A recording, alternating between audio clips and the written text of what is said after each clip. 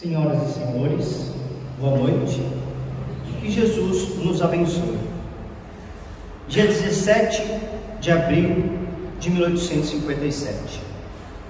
Fico imaginando como estavam as emoções e a mente de Allan Kardec. Estava algumas horas de trazer à humanidade o livro dos Espíritos, iniciando assim a era do Espírito. Ele havia combinado com o senhor Danti, o dono da livraria, que eles, ele iria expor o livro dos Espíritos na, em sua livraria. Mas aconteceu que o senhor Danti resolveu desencarnar. E o seu filho foi contra o acordo que Allan Kardec tinha feito com o pai. Mas sua mãe, esposa do senhor Danti, sempre as mulheres, resolveu arcar, resolveu fazer o acordo, cumprir com um acordo que Allan Kardec havia feito com o senhor Danti. E graças a Melanie, sua esposa, o livro foi exposto. Mas eu fico imaginando como foi a noite do dia 17 de abril de 1857. Havia pouco mais de dois anos que Allan Kardec, a convite do senhor, do senhor Carlotti, começou a frequentar as reuniões das mesas girantes. E ele percebeu que as pessoas faziam perguntas banais, perguntas fúteis. Né? E ele então resolveu fazer uma pergunta inteligente. E para essa pergunta inteligente, ele teve uma resposta inteligente. E então, com o seu, a sua didática de professor que ele já trazia, ele resolveu então, começou a se interessar pelas mesas falantes ou mesas girantes, e começou todo o seu estudo. Foi nesse mesmo dia 17, à noite, que ele recordou-se de uma mensagem do Espírito de Verdade pela senhora Jafé, a médium Ruceline Jafé. E a mensagem do Espírito Verdade dizia: És tu, professor Rivai, quem deverá tirar o machado da árvore para derrubá-la, para que possamos construir uma coisa nova. E para isso será necessário enfrentar muitas batalhas. E foi essa batalha que o professor Rivai entrou. Toda a sua vida de acadêmico estava agora num livro que iria modificar toda a humanidade. Por quê? Porque é um livro que não foi escrito por ele, mas é um livro que fora escrito por aqueles que o Espírito de verdade convidou para que todas as questões fossem devidamente elaboradas. E nessa turma do Espírito de verdade, nessa equipe, nós sabemos que tinha os encarnados e os desencarnados. Tanto que foi necessário para o livro dos Espíritos, as médios de 12, 14 anos, as irmãs Bodan, Ruth Celine Jafé, de 16 anos, que não eram capazes conscientemente de dar aquelas respostas. Mas quando chegamos à Gênese, já não era necessário provar mais nada. Por isso que nós vemos Camille Flammarion, o grande astrônomo de sua época, psicografar a parte de uranografia de Galileu Galilei. Então as pessoas podiam dizer, mas um astrônomo psicografando mensagens sobre astronomia é fraude. Mas que fraude é essa? Que começou com as meninas lá atrás. Então eu fico imaginando se ele conseguiu dormir naquela noite do dia 17 de julho, 17 de abril de 1857. Dando um salto, eu vejo a importância do livro espírita em minha vida, porque existem alguns livros que nos perseguem. Me tornei espírita ou nasci em família de berço espírita. E uma das primeiras recordações que eu tenho é de estar na porta do, de uma sala no centro espírita que meu pai frequentava, e eles estavam estudando uma obra, o nosso lar. E havia uma pessoa lá que só falava de morte. A morte, a morte, a morte. Eu fiquei tão aterrorizado com aquilo. Como que meu pai ia tirar um tempo só para falar sobre a morte? fiquei assustadíssimo. E me marcou na mente que a pessoa que estava falando contou uma história que quando o pai dele tornou-se espírita, só falava de morte. E ele ficava com tanto medo que saía da sala. Então me marcou que o mesmo medo que aquela pessoa teve quando criança, eu estava tendo. Não consegui entender. Depois que eu cresci, eu finalmente entendi que o Espiritismo matou a morte. Por isso que nós sempre falamos que quando nos tornamos espíritas, fatos é, interessantes acontecem. Por exemplo, todo mundo falava do livro Paulo Estevam. Todo mundo. Então eu falei, vou ler Paulo Estevam. Comprei o livro, li o primeiro capítulo e desisti. Muito sofrimento para uma família já necessitada. O livro ficou lá quieto. Passou um tempo, ele olhando para mim, falei, não vou ler. Porque a história vai melhorar. Li o primeiro e o segundo capítulo e o sofrimento piora. Abandonei o livro. Que espírito é esse que vem escrevendo um romance e só fala de tragédia? Era o primeiro romance espírita que eu li. Né? Então, nós sabemos que todo livro espírita tem dois finais: ou a pessoa reencarna ou ela desencarna. Mas o problema que vai acontecer nesse meio tempo. Encostei o livro, passado alguns meses, o livro me olhava ainda, eu falei, agora. Não é possível que esse sofrimento vai continuar. E piorou. Abandonei o livro. Abandonei, falei, não quero, deixei um recadinho e deixei no metrô. E nunca mais vi o livro. Até que no ano seguinte, eu recebi um livro de aniversário de uma amiga de Salvador, que era o livro Paulo e Estevam. Aí eu, aí eu não tive como não ler. E o que me chamou mais a atenção foi como Jesus chegou até Paulo pela primeira vez. Nós vamos encontrar Paulo na estrada de Damasco completamente perdido nos pensamentos. Qualquer lugar que ele se dirigisse, Jesus estava cercando ele. Antes de ir a Damasco, a, o amor de sua vida, com V maiúsculo, da vida eterna, não da vida terrestre, havia tornado, se tornado espírito. Por quê? Porque Saulo havia terminado o noivado, porque ela era irmã de Estevão. Um spoiler aqui para quem não leu o livro. Mas, e, e ele não aguentou aquilo, terminou o noivado. E antes dele apedrejar Estevão, depois do apedrejamento, quando a irmã reconhece o irmão que está lá, ele olha para Paulo, para a irmã e diz: Não tenho em Saulo um inimigo, tenho nele um verdadeiro irmão. Defendeu Moisés como ninguém, mas quando conhecer Jesus, falou-a de maneira mais impressionante. Voltamos um pouco na história. Quando Saulo resolve prender os apóstolos, e ele descobre que Gamaliel, o sumo sacerdote do Sinédrio, a quem ele iria substituir, o seu professor, estava lendo os pergaminhos do, de Jesus. E aquilo foi demais para a cabeça dele. Damos um passo atrás na história. Pela primeira vez, Saulo vai à casa do caminho. E quando ele entra na casa do caminho, vem para fazer a palestra Estevão, Pedro e João. E quando ele abre um pergaminho, um escrito, estava lá o primeiro encontro de Saulo com Jesus através de uma anotação de um pequeno livro, que eram pergaminhos da época.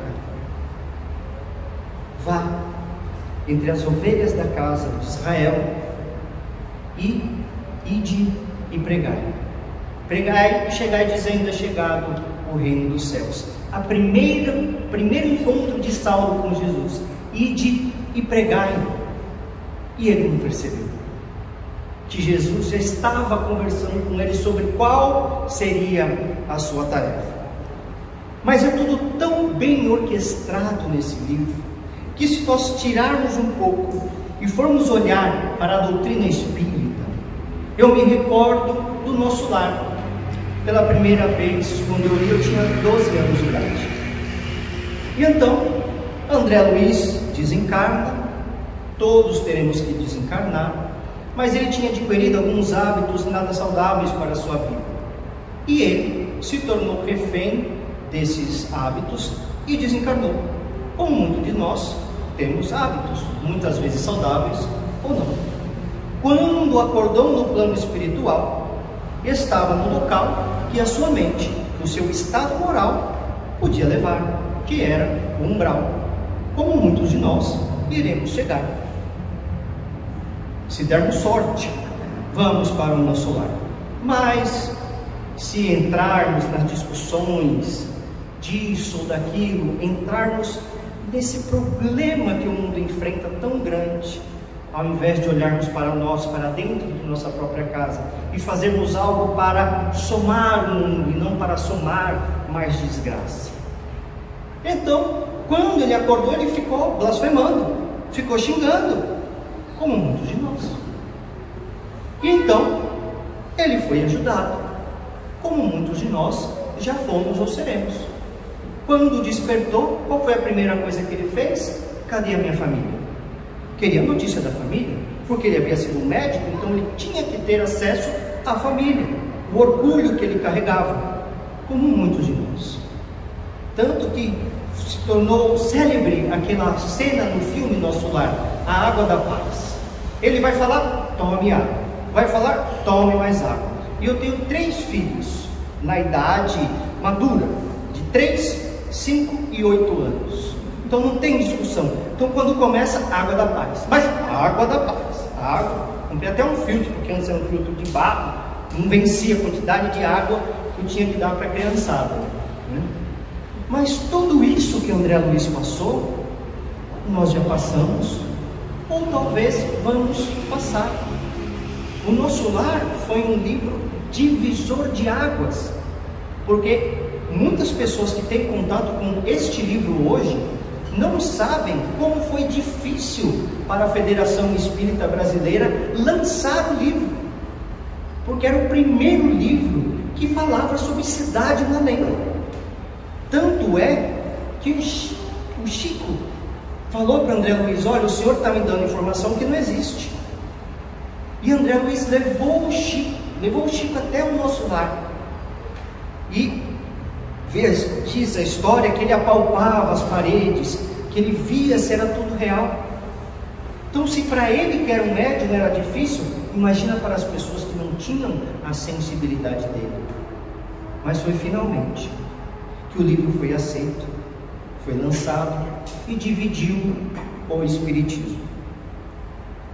O livro Na Sombra, o livro Paulo Estevam, foi escrito por Emmanuel por uma vontade que Chico tinha de psicografar romances, porque ele havia lido os romances de Dona Zilda Gama.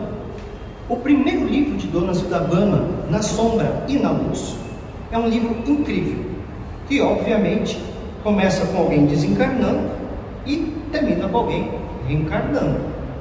Mas nesse meio tempo, os personagens, um personagem vai fazer um duelo e ele deixa se matar.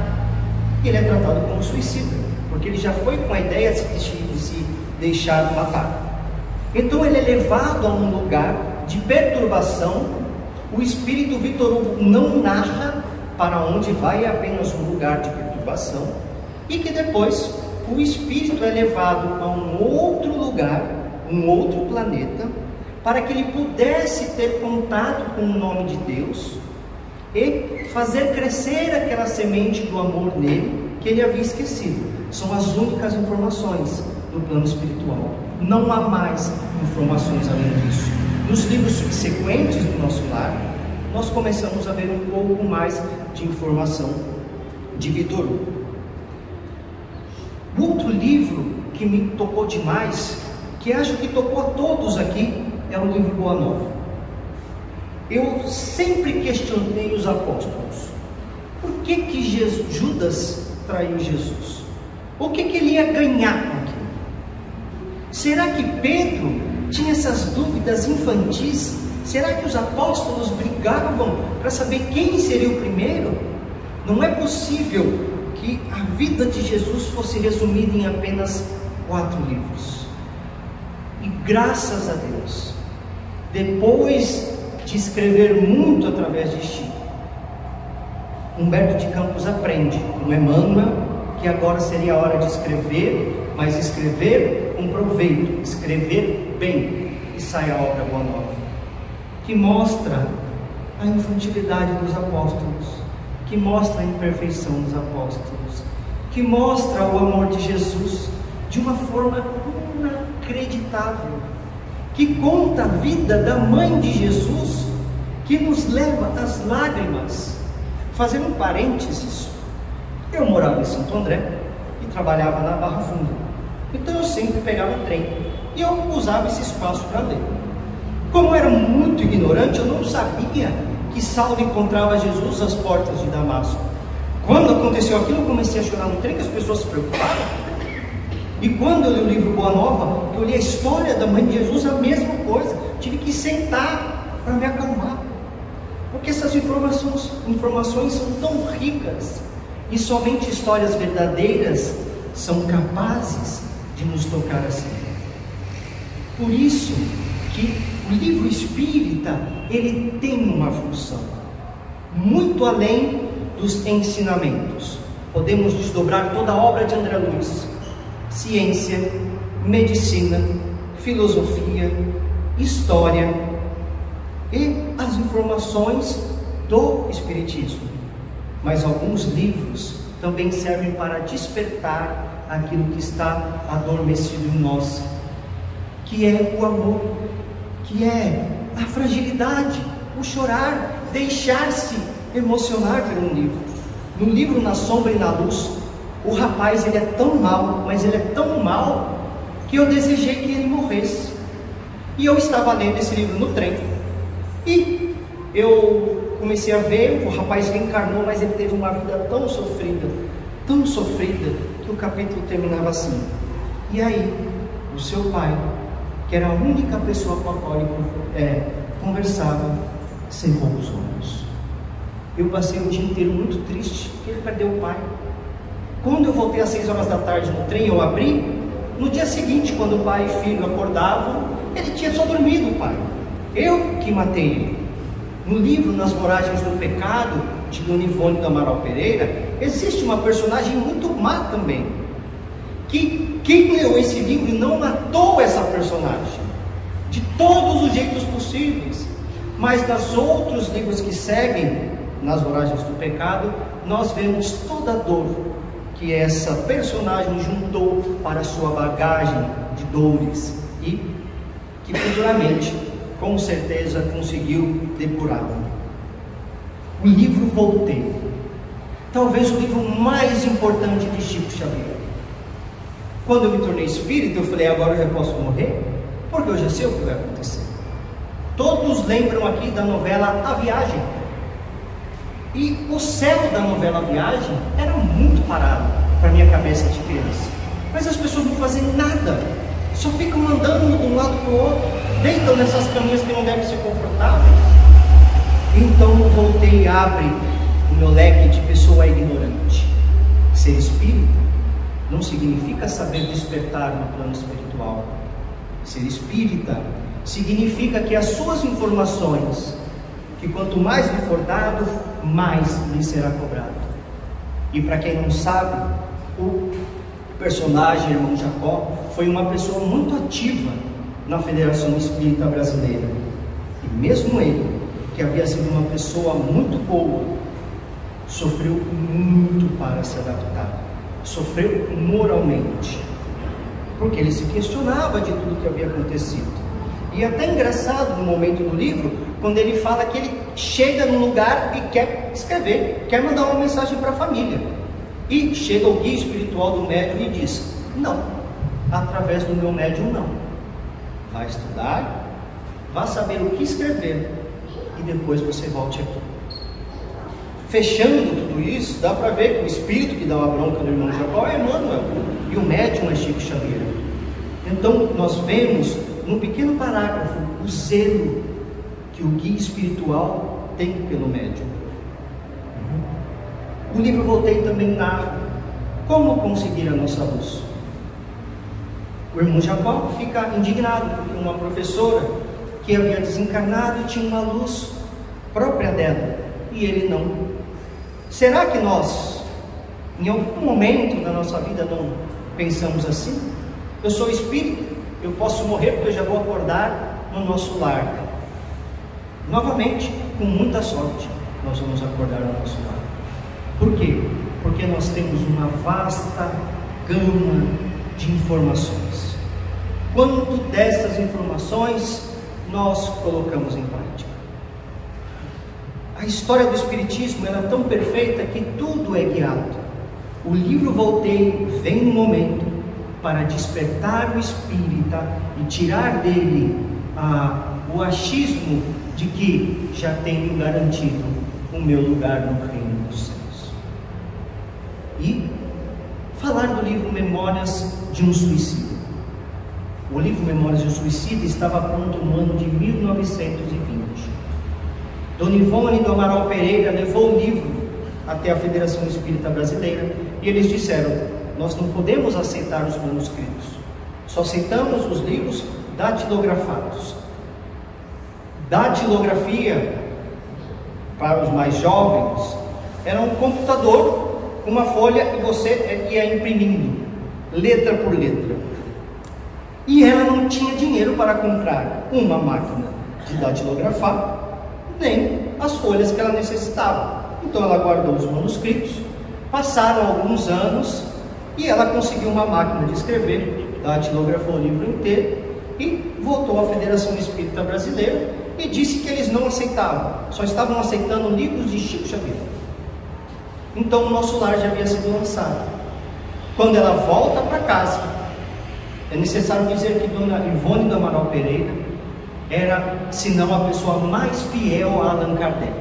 Tudo que ela falava pautava a sua vida nas informações de Allan Kardec. As pessoas chegavam a ela pedindo carta dos familiares, ela diz: Não sou médium de psicografar, de psicografar cartas. Se você quer isso, vá a Chico Xavier. Mas eu posso te dar um conselho, porque era como era a mediunidade dela. Quantos médiums será que falam, oh, tudo bem, eu vou dar um jeitinho aqui de receber alguém? Como nós vimos na pandemia, explodiram médiums no YouTube, recebendo isso, isso ou aquilo. As pessoas passando informação e só aquelas informações na, na, na carta médiums que espalham pessoas pelo salão de palestra para conversar com as pessoas ele vai recebendo a informação por ponto. A que ponto chegamos da ignorância da mediunidade? Então é por isso que os médiums sérios sabem respeitar a vontade dos bons espíritos. Quando que Dona Ivone do Amaral Pereira volta, Leon Denis aparece para ela e diz: vamos corrigir a obra. Mas corrigir o quê? O autor não é espírita. Então ele não se utiliza de termos espíritas. Então nós temos que, temos que corrigir. 70% da obra foi toda corrigida para que toda a terminologia fosse igual para toda a linguagem espírita, como já estava saindo. Aí então o livro estava pronto para ser lançado. Por quê? Porque o livro Memórias de Suicida narra cidades no além, mostra agrupamentos que funcionam perfeitamente com transporte, com casa, com macas, com hospitais, com médicos, com televisões para ver a família. Nós não estávamos preparados para isso. Era necessário que viesse um livro antes deles, o nosso lar, para que nós nos acostumássemos a saber que havia cidade no além. E depois veio os mensageiros, que hoje foi apresentado uma reunião com o, diretor, com o presidente da Federação Espírita Brasileira e vão começar a produzir o, livro, o filme Nosso Lar 2, baseado em um mensageiro. Começou hoje a produção do filme. Então, em breve, teremos mais um pouquinho do nosso lar para assistirmos no cinema. E também existem os livros que não são psicografados. Existem os livros que são baseados em estudos. Vamos recordar da professora Terezinha Oliveira, que fez todo um estudo do Evangelho de Jesus. E pode ser é, a inspiração dos bons espíritos, porque ela escreveu o livro, ela. Quantas pessoas não colocam escrito portal espírito e não foi nada? Quantos de nós espíritas não aceitamos um livro porque não é psicografado, é pesquisado? Quantos livros de Chico Xavier as pessoas já não pegaram desdobraram o estudo? A, a Federação Médica de Espírita, é assim que chama, AME? Associação Médico Espírita do Brasil, fez, faz um estudo em torno da obra de André Luiz, inacreditável nos anos 40, André Luiz falou da plasticidade cerebral, que só foi provada nos anos 90. O que é plasticidade cerebral? É que o cérebro se adapta às mudanças no corpo.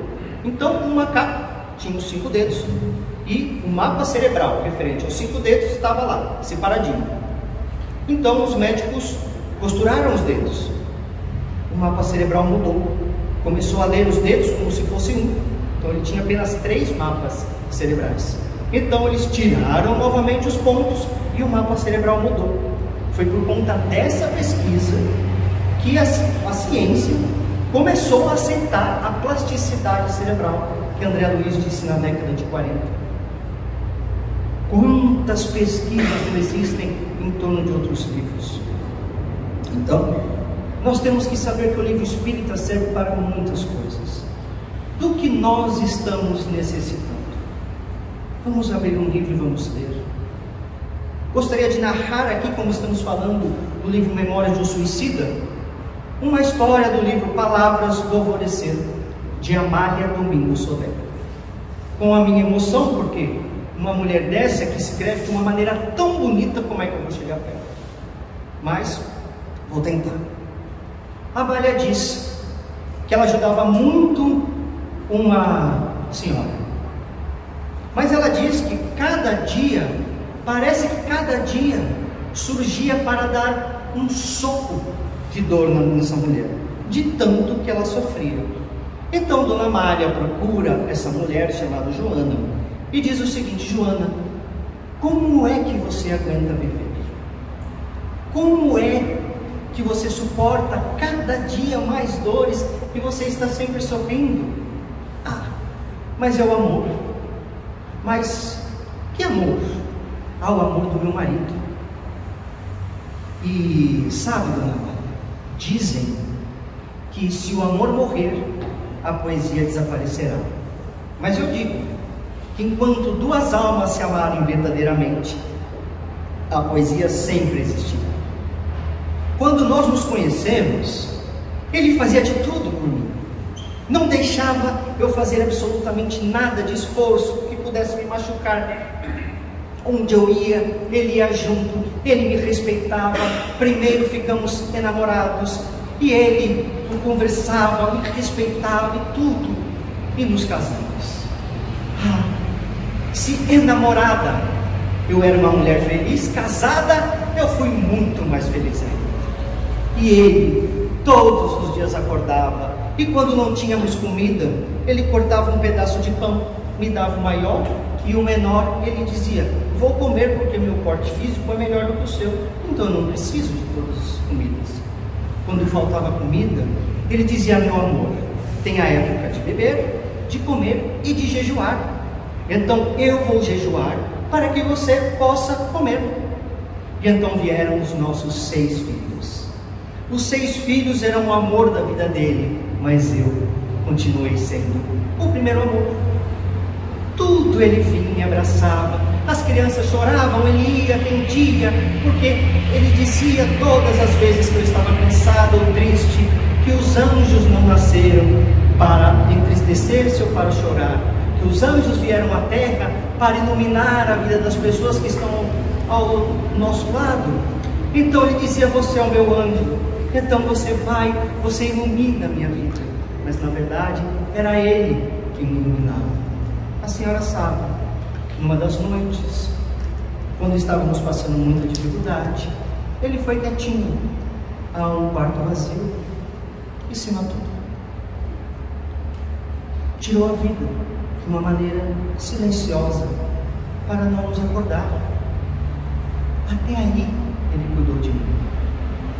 E eu não sabia o que fazer. Meu filho mais velho me abandonou. Um dos meus filhos depois morreu. E minha filha me traiu. Eu não tinha dinheiro para parar em nenhuma casa. Eu só tinha dinheiro para pagar o primeiro mês de aluguel, depois nós éramos despejados. E eu sempre fiquei com uma das últimas frases suas na cabeça: Se eu morrer, não case com ninguém, porque você é o amor da minha vida. E eu irei te acompanhar para todo sempre. Mas as dores foram demais. Numa noite, quando meus filhos estavam dormindo, eu deixei a janela aberta. Minha filha mais nova se conchegou no meu peito, fazia carinho nos meus olhos. Dorme, mamãezinha, dorme, para descansar. E ela dormiu antes que eu. Eu levantei e beijei todos os, meu fi, todos os meus filhos por pensamento, para não os acordar. Os meus, as pessoas para as quais eu devia, iam apenas lamentar a minha morte. E meus filhos seriam entregues a alguém que poderia cuidar deles. Eu então subi uma pequena escada, a janela aberta, eu olhei os seis andares para baixo, pus o pé para fora. Naquele instante, uma mão segurou meu braço e me puxou. Eu olhei para trás, era o meu marido, de alguma forma deformado, e ele disse: Não faça isso, você não encontrará morte, você não morrerá. Eu lhe avisei que você é o amor da minha vida. E todos os dias eu estarei com você, te protegendo e te alimentando com o meu amor. E foi nesse instante que eu me tornei espiritista, porque todas as vezes quando eu vou dormir, eu digo Espírito, e ele diz: Estou aqui, te amando. Então nós vemos essa pequena história de Amália Domingos Soler.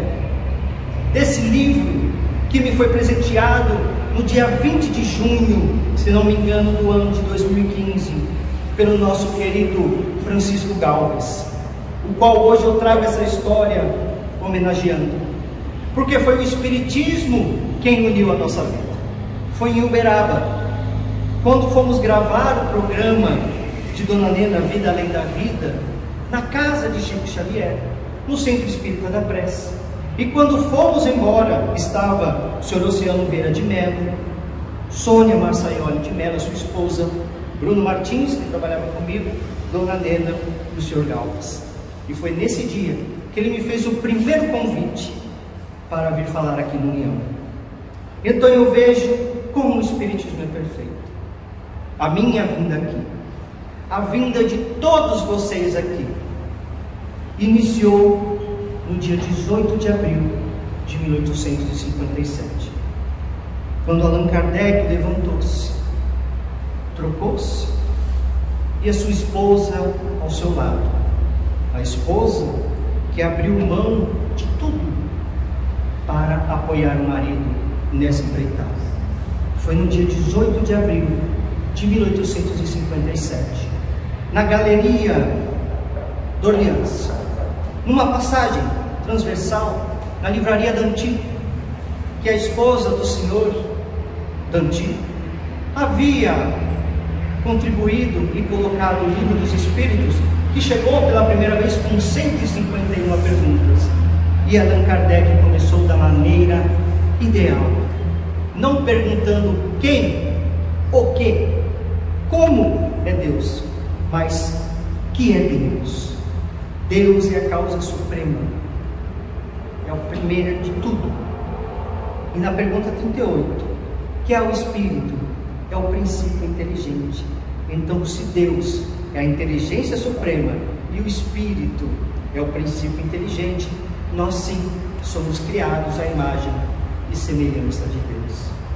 Foi nesse ano de 1857, no Palais Royal, um espaço que fica entre teatro de ópera e o Louvre foi no mesmo lugar onde Camille Desmoulins foi elevado numa cadeira e aquele menino gago, quando falava com a multidão, parava de falar com a gaguez. Foi aí, nesse mesmo lugar, que iniciou a Revolução Francesa. Dias, anos depois, nós vemos a equipe do Consolador, materializando todo o projeto que Jesus tinha desde há dois mil anos, que eu rogarei ao meu Pai para lhes enviar o Consolador. Assim como o livro Memórias do Suicida teve que esperar a chegada do livro Nosso Lar, o Espiritismo também teve que esperar dois mil anos para que nós pudéssemos amadurecer moralmente. Então, a minha mensagem para todos aqui é de gratidão, porque se eu estou aqui é por conta daquele 18 de abril de 1857, que hoje completamos 165 anos. A todos os amigos que o Espiritismo me apresentou, eu sou grato. Não tenho como colocar em palavras todo o bem que eles me fizeram, e eu espero ter feito bem a eles também. Allan Kardec, o que dizer? Que ele abriu mão de uma vida farta de dinheiro, que poderia ficar tranquilo, abriu mão de tudo, e com a didática dele, ele seguiu em frente até o dia 2 de abril de 1869, quando desencarnou vítima de um aneurisma. Então, Allan Kardec, todas as obras citadas hoje partiram da base, e a base do Espiritismo é Allan Kardec. Não existe Espiritismo kardecista. Espiritismo é a ciência que estuda o Espírito. Se falarmos kardecismo, seria a ciência que estuda Kardec. Por isso que ele deu o nome para a doutrina de doutrina dos espíritos. Não pertencem a eles. E o espiritismo triunfará com os homens, sem os homens ou apesar dos homens. Cabe a nós fazermos a nossa parte. O professor de Lyon, o mestre de Lyon, deixou a base para nós. Se temos alguma dúvida em um livro, corramos a base, que deverá ser sempre Allan Kardec. Então, por esses 165 anos, fica aqui o meu muito obrigado ao mestre de Leão. E a minha gratidão infinita a Jesus, que soube guiar todos os espíritos, encarnados e desencarnados, que compuseram toda a base que estruturou o pilar onde nós estamos pisando hoje. Muito obrigado. Mestre amado, como consola e ampara a doutrina dos Espíritos. A casa espírita, que não pode oferecer mais do que o conhecimento doutrinário, ela realmente ela fica fragilizada. Sentimos nesta noite, através da palavra do nosso companheiro querido, o quanto pode fazer a doutrina espírita pelo ser humano. E sentimos também a responsabilidade de falar e de fazer.